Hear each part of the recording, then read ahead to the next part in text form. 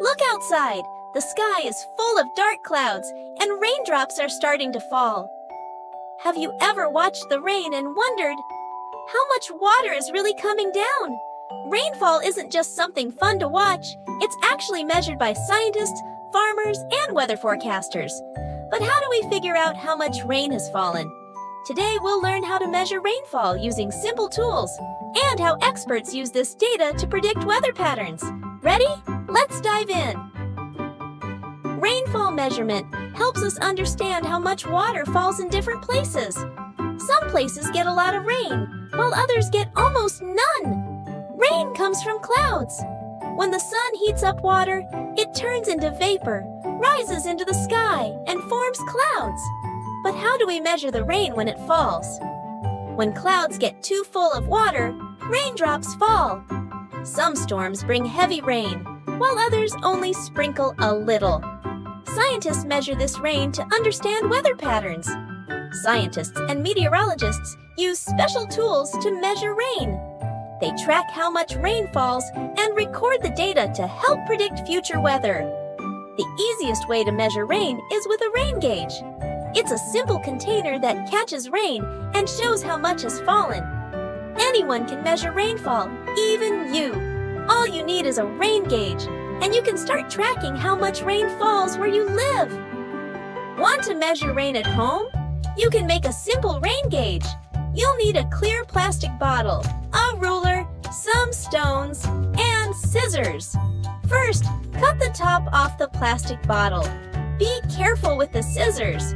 You'll use the top part as a funnel for collecting rainwater. Next, put some small stones at the bottom of the bottle. This keeps the rain gauge steady so it won't tip over in the wind.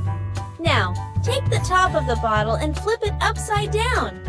Place it back into the bottom part like a funnel. This helps collect rainwater.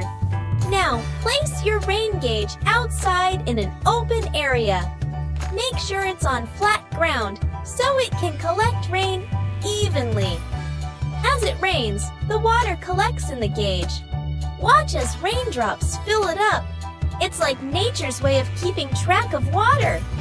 After the rain stops, check your gauge. How much water did it collect?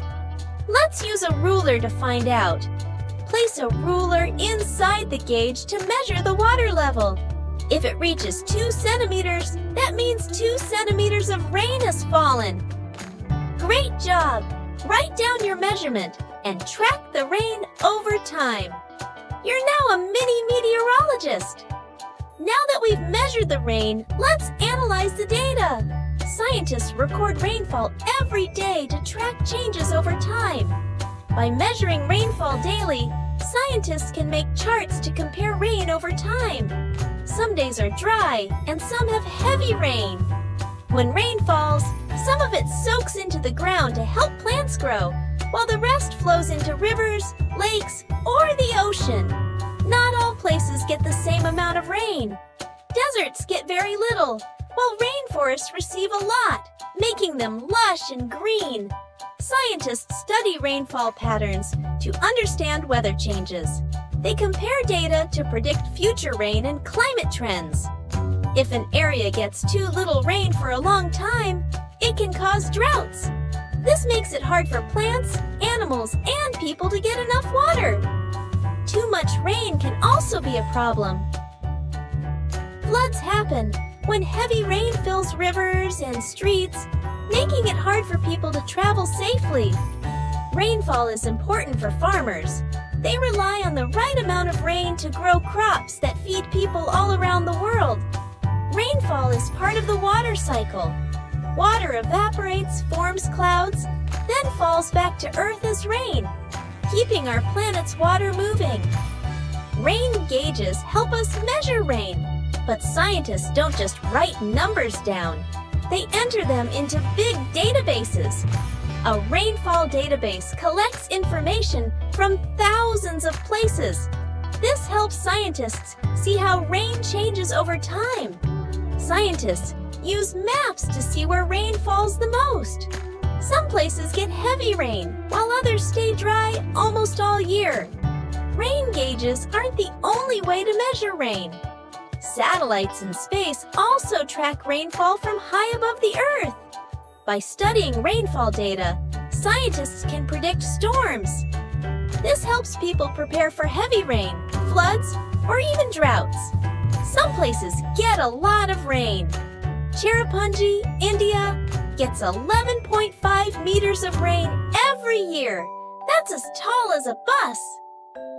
Meanwhile, some places get almost no rain. Egypt gets less than 4 millimeters of rain per year. That's barely a few drops. Meteorologists use all this data to make weather reports.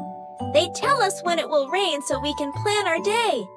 By studying rainfall data from around the world, we understand how water moves across the planet and keeps life going. Farmers depend on rainfall to grow food. Too much or too little rain can change their entire harvest. Cities use rainfall data to manage water supplies. If there's not enough rain, water levels drop, and people must save water. Meteorologists use rain data to predict storms. This helps people prepare for heavy rain, floods, or even hurricanes. Too much rain can cause floods. News reports use rainfall data to warn communities and help keep people safe. Without enough rain, droughts happen. Rivers dry up, plants struggle, and people must find ways to save water. Studying rainfall helps us understand climate change and plan for the future. Every drop of rain tells a story. Next time it rains, take a moment to watch. Every raindrop has traveled a long way to reach you.